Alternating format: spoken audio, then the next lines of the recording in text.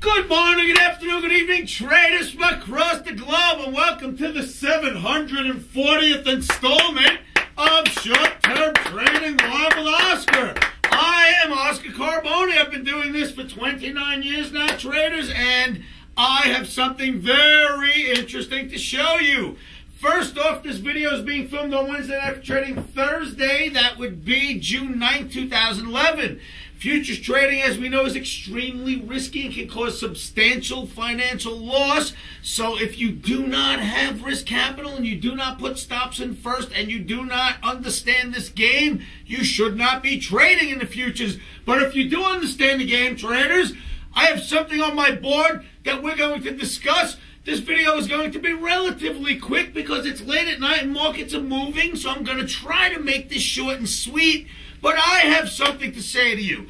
One thing that we know about technical analysis that is a fact is this. Repetitive patterns are the cornerstones of technical analysis.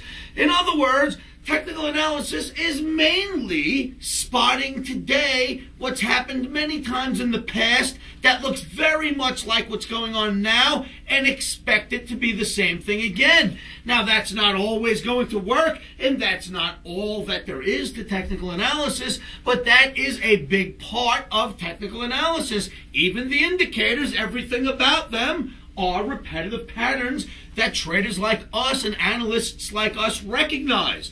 So with that in mind, I found an incredible chart this evening. Traders, as you know, this week we've been selling the S&P, selling the NASDAQ, selling, selling, selling, and we expect more downside for Wednesday night into Thursday and maybe even for Thursday as well. You also must recognize, if you know me by now, that I look at the bird's eye view, the forest from the trees, pretend I'm up in a helicopter looking down at the whole forest. And if I do that, I can see which way the path is to get out of the forest. So I don't always just look at the trees. In other words, I'm not always just looking at the daily bar and what's going on. I step it out sometimes and just look at the whole picture. The whole picture is that we are in a big booming bull market that is having a pullback. And that has been my contention since the pullback started. But we have been selling it. We do have a red Omni for Wednesday night through Thursday morning. But traders, so tonight I do my homework, and what I'm trying to do now is find more reasons to be short-minded, to be bear-minded, because that's what the market's asking me to do. So I do my homework tonight, and I find some trades that I think we're going to get short in the markets. But I did one of those bird's eye views of a chart and it almost knocked me over. And I thought I would share that with you. So remember this repetitive patterns are the cornerstones of technical analysis. Now, when I say that, what does it mean to you when you look at this? I end up really excited, and this is why. Traders, repetitive patterns are the cornerstones of technical analysis. Well, when I was looking at the daily Dow Jones Industrial Average bar chart, I was looking for a reason to be more bearish because we've been selling into it and it's coming off and I'm not blind and I trade whatever the market gives us. So as I'm doing my homework tonight, I recognize that the pattern that we're having right now is almost identical to the pattern that was set between June and August of 2010. And see if you can follow me with this. We get like this little V bottom. Then it comes up into a little rounded top and drops to what I call point A. From there, it rallies up to point B, puts in a parallel channel, which drops us just a tad lower than point A, and the whole move is over and it takes off.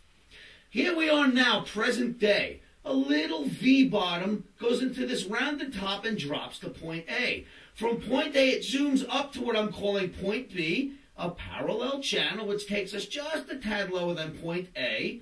Very interesting, traders. It's almost exact. Now, even more interesting, watch what happens when I overlay one of our Omni averages on it right about here, the average gets involved in this whole little setup, right? But before we even look at that, note this. The average is almost always outside of the chart. It never really goes through much of the bars. It's outside the chart, outside the chart. Here it's outside, just a little cut in, outside the chart. But in these two periods, it gets right into the chart and look at where. It gets into the chart right near the V, comes back out right in the middle of this channel, and then goes, right? Well, here we are now, present day. Comes in during the V and is coming out right in the middle of this channel. Points A, B, and C look identical to what they did here, including that little V bottom. So with that average, that made me stop cold and think, wow, is this thing going to stop right here? Now, traders, look at this again. Let me blow this up for you. And once again, look, there's the little V bottom. Then it goes into this little red rounded top that you see and drops down to point A. From point A, it rallies up to point B, puts in this parallel channel down to point C, and then explodes. That is June through August 2010. Present day. It's got the little V bottom shown here or illustrated with the blue V. Then you have the little red rounded top, which drops us to point A. Point A, a quick rally to point B, then into a parallel channel, which gets slightly lower than point A. Almost exactly what we had in June through August. So I think this is an absolute repetitive pattern. Now watch this. I'm going to drop the average on for you. Look at that, almost like magic. You'll note from the beginning of this chart, the average stays out of the bars. Almost always it's on the outside. Then when you hit June through August of 010, you see that right here. The average starts cutting right through the bars, gets near the V, comes underneath that red rounded top, and then cuts through the parallel channel point C and takes off. Well, present day, if you'll note, the average gets involved right near the V, gets underneath that little rounded red top, cuts through the parallel channel connecting points B to point C, and from here, if it's going to repeat, it's going to hold in the next few days. Point C, back in June, if you'll note, had three, four, five, six days down here, and then it took off. So I'm thinking that we stay down here a little longer and then follow in suit with what we've seen. So far, what we've seen is this. We know that when the dollar index goes down, it gives buoyancy to the stock market.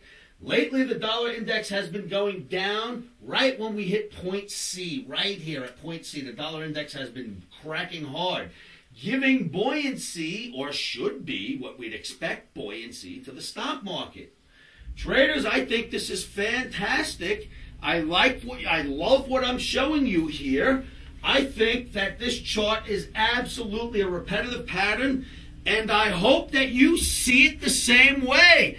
Traders, repetitive patterns are the cornerstones of technical analysis. Thank you so much for tuning in to tonight's lesson. Traders, look at that for yourselves. That was the Dow Jones Industrial Average Daily Bar Chart. The period I look at was June 2010 through August 2010 looks very much like the period we are in right now. Do your own homework, look at your own charts. I hope this keeps you in check, in perspective with the larger picture. Remember, you must act like a bear when the market is dropping, and it has been dropping. So, short term minded, you should trade like a bear, but keep in mind that repetitive pattern I showed you. Remember that we're in a big booming bull market. And remember not to fall in love with the downside. Traders, one last thing I'm going to warn you about is you must keep your emotions out of trading. One of the best things you can do to help yourselves with that is say this to yourselves every morning, every afternoon, every evening, and you know what that is.